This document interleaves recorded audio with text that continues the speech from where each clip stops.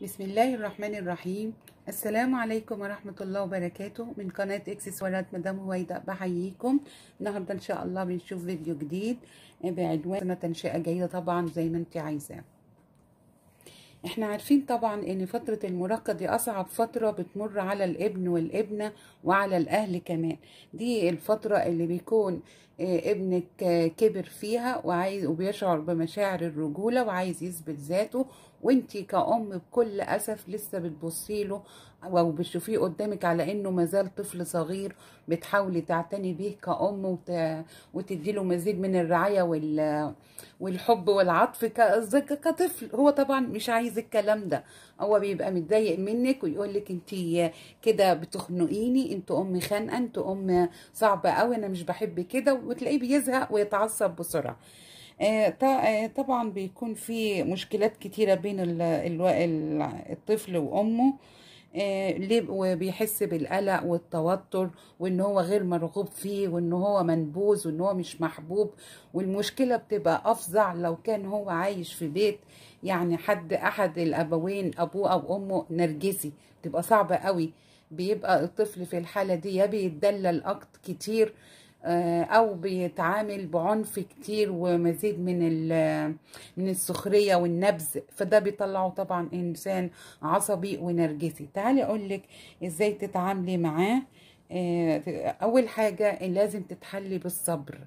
الصبر وإنك تبعدي تماما عن العنف وتبقى طويلة البال. طبعا مش أنت لوحدك أنت وأم وأبوه واللي موجودين معاكي في الأسرة. الأول عايزين نعرف إيه هي زي أسباب زيادة عصبية المراهق. طبعا إحنا بنشوف مراهقين عصبيين جدا بيكسروا ويرزعوا ويعلوا صوتهم ولا وما بيحترمش امه وأبوه وبيبقى قاسي في البيت وردود فعله عنيفة. وفي مراهق تاني بيكون منطوي على نفسه وكئيب وحزين ودايما صامت ودايما غامض ودايما قافل على نفسه الباب وفي حاله كده يعني ساكت. فالأم برضو بتتعذب بتبقى عايزة تفهم هو ماله كده وفي إيه إيه اللي خلاه كده. في كلتا الحالتين إذا انت حاولتي معاهم ومعرفتيش تحتويه إذا كان عصبي وعنيف وإلا إذا كان منطوي وحزين ومتقوقع على نفسه في الحالتين دول لازم تستشيري أخصائي علاج نفسي دكتور طبعا. أما بقى لو كان شخص عادي اعملي معاه الحاجات اللي أنا أقول لك عليها. قبل ما أقول لك هتعملي إيه تعالي نفهم إيه هي أسباب زيادة عصبية المراهق. أول حاجة لو كان الأبوين في بينهم مشاكل كتيرة ومشاحنات ومشاجرات وتوتر من أيام ما كان هو طفل صغير يعني هو نشأ في بيت الأم والأب دايما بيتخانقوا دايما في صوت عالي صوت مرتفع كل مفيش أي تفاهم بينهم دايما شجار دايما خناق.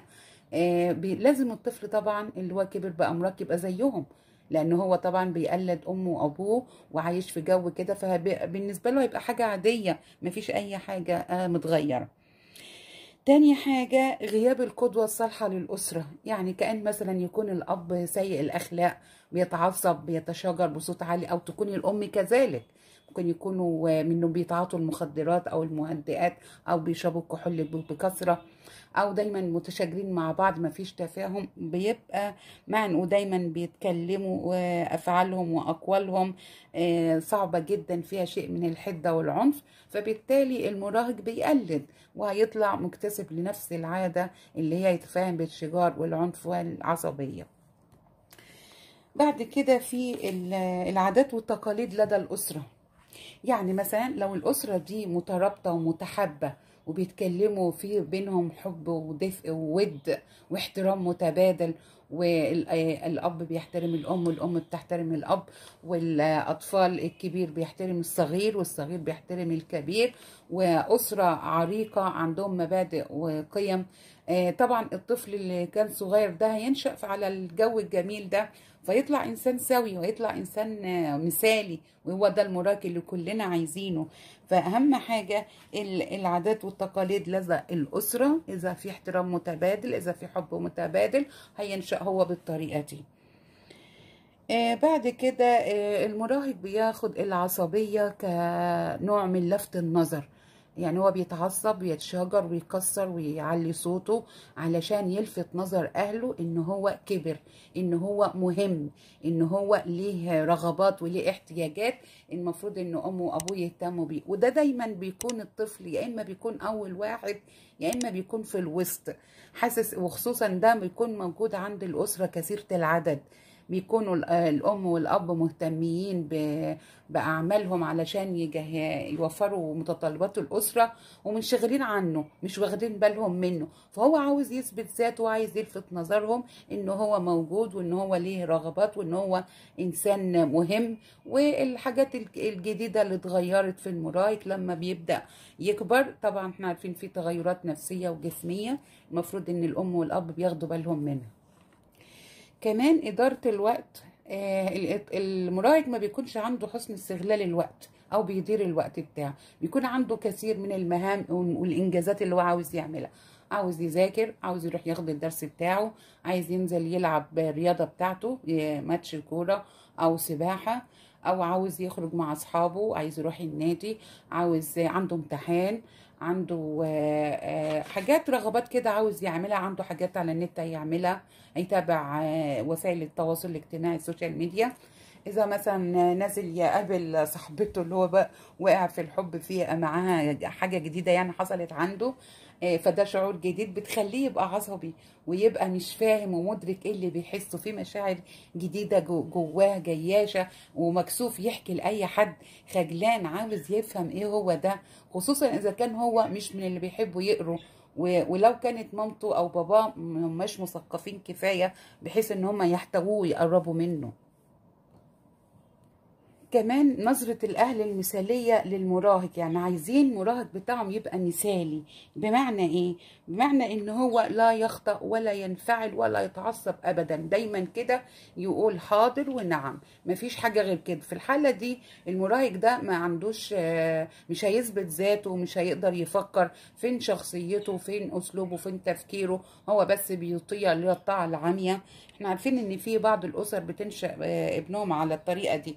في الحالة دي المراهق ده بيحس إن هو عنده ضغط نفسي عالي جدا وفاهم إن كده الأخطاء بتاعته مش الأسرة مش هتقبلها لأن هم عايزينه حاجة مثالية يهتم بمظهره يهتم بمذاكرته يهتم بدروسه يرتب الحجرة بتاعته يروح لما يطلبوا منه أي حاجة يقول حاضر. ونعم يعني النظرة المثالية ليه يعني آه هو طبعا لازم ينفعل ولازم يغضب ولازم يعبر عن رأيه ولازم يرفض ولازم يقبل. يعني إنسان لازم يؤدي كل التصرفات الإنفعالية بتاعته. كمان هنا في الفروق الفردية. يعني مثلا الأسرة اللي لديها عدد من الأولاد بيبقى في فروق فردية بين الأطفال ومش كلهم زي بعض. في شخص عصبي في شخص هادي في شخص منفعل في اندفاعي في خجول. فلازم هنا الأم تراعي شخصية ابنها. طبعا هي اللي ربته هي اللي عارفة وفاهمة لأن هي اللي عايشة معاه طول الوقت. وملاحظة إيه التغيرات اللي حصلت عليه لما كبر؟ فالمفروض إن هي ما تقارنوش بحد من إخواته ما تقارنوش بحد من أولاد عمومته من أصدقائه من جيرانه تقول ده أحسن منك ده أفضل منك.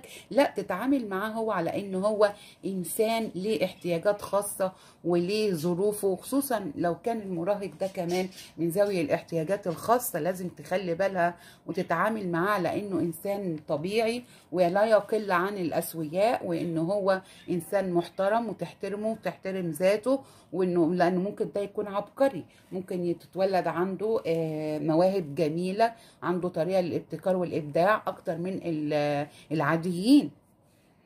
آه كمان لازم تعرف إن هو ليه شخصيته وليه آه قدرته الذاتية. ممكن يكون آه أكثر ذكاء من إخواته ومن قرايبه ومن أصحابه. فما تقعدش دايما إن هي إيه آه تقارن بين يعني ابن عمك أحسن منك آه ابن الجيران جاب درجات أعلى منك. أنت وحش أنت فاشل أنت ضعيف أنت مش شاطر أنت مش نافع في أي حاجة. كل دي كلمات إحباط فبتولد جواه طاقة من العنف والانفجار وممكن تؤدي إلى عواقب وخيمة. كمان يجب عليكي كأم إن أنت تلاحظي إيه التغيرات اللي طرأت على ابنك في فترة المراهقة. تلاحظي طبعا صوته اتغير يعني في اللي هي ال- الصفات الن- النفس آه، النفسية اللي ظهرت عليك دي لأنه دخل مرحلة جديدة غير مرحلة الطفولة.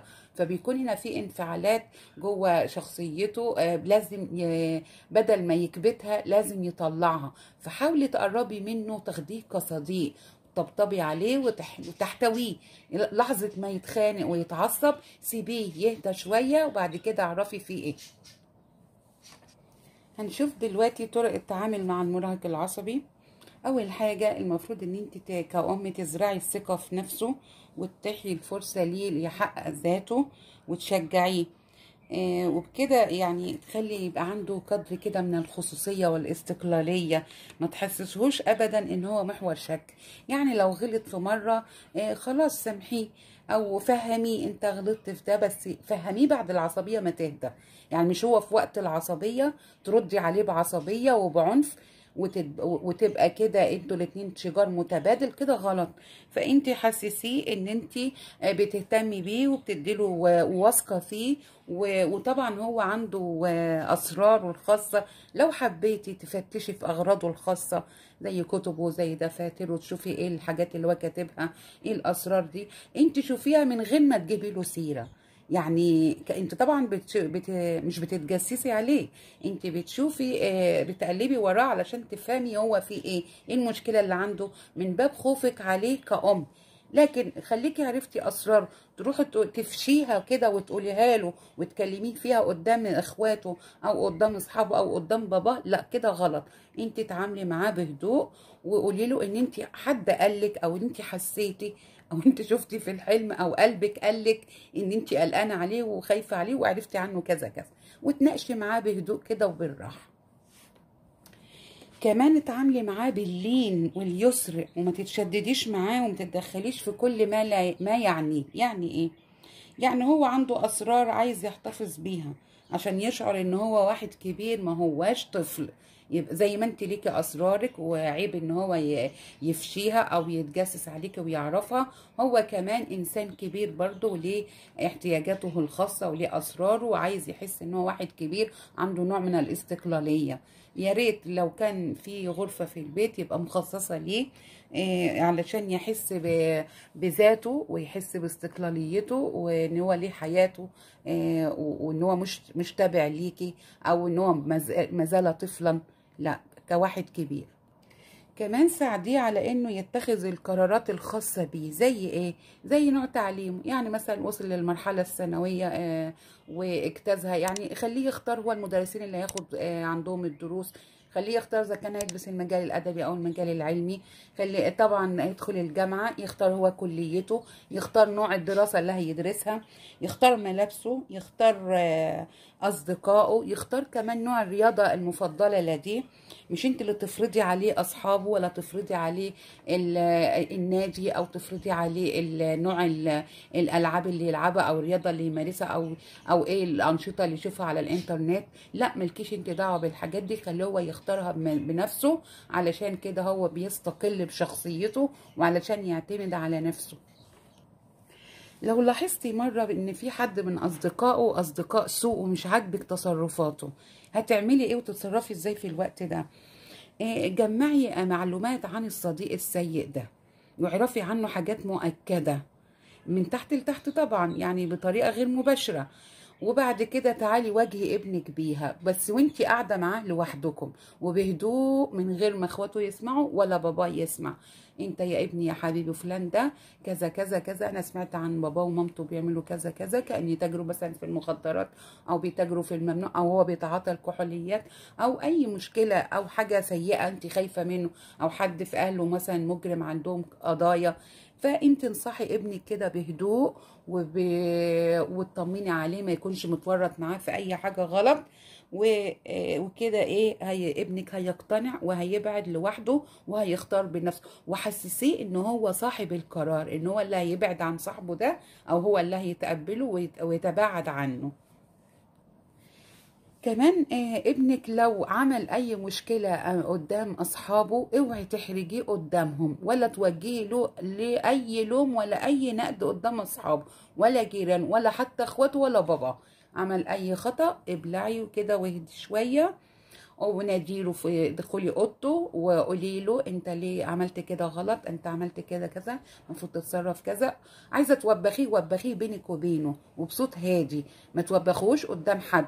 عشان كده يحس إن أنت بتحترميه عشان يحترمك وعشان يكون عنده مشكلة يجيلك لأن أنت الوحيدة اللي عايزاه أحسن منك أنت وبابا.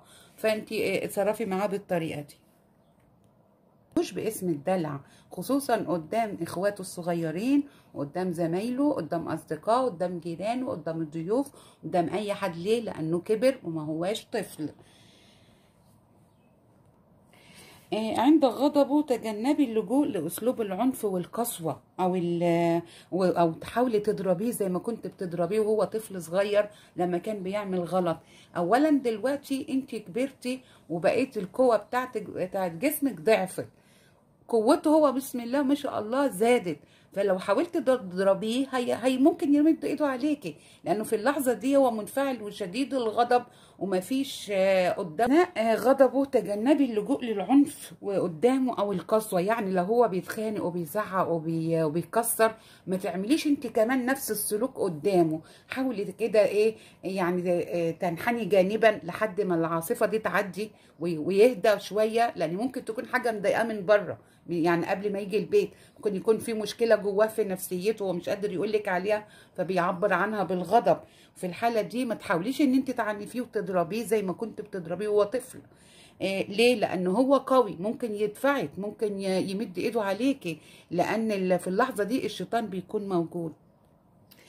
عامليه كصديق واحرصي على التقرب منه ومناقشته في أوقات الصفاء. يعني في أوقات كده البيت هادي مفيش أي مشاكل مفيش أي حاجة أخواته نايمين أو أو ادخلي معاه في الحجرة بتاعته واقعدي كلميه وكلميه بهدوء كده وحنية خليه يحس إن انت بتحبيه وإن انت أمه عايزة مصلحته. ما انتش رايحة تحققي معاه ما انتش رايحة تستجوبيه عشان يقدر يقول لك كل أسراره ويقدر ياخد ما إيه يستفيد منك. ومن علمك لازم انت كمان تكوني أم مثقفة وأم واعية. تختاري الوقت المناسب للمناقشة ويكون كمان عندك إيه حلول للمشكلة. وما يكونش عندك حل واحد يكون عندك عدة مقترحات علشان هو يقدر إيه يختار المقترح اللي هو يناسبه. اوعي تتجسسي على مكالماته ولا على رسائله على الفيسبوك ولا ال social media. فهمي لما تيجي تردي عليه لو مثلا كتب حاجة مش عاجباكي أو في حاجة في post مثلا مش عاجبك حاولي تفهميه إيه اللي ما تنقضيهوش وما توبخوهوش قدام أصحابه. وكلميه بينك وبينه علشان تكسبيه بدل ما يعمل لك بلوك.